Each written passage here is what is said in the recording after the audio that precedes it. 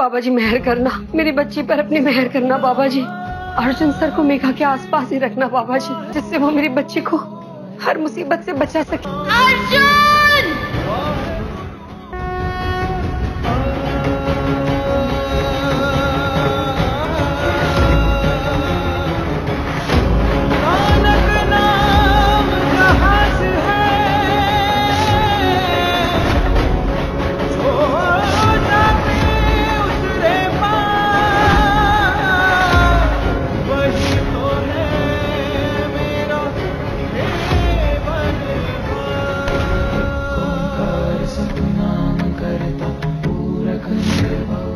बस एक सेकंड मेघा हाथ पकड़ो।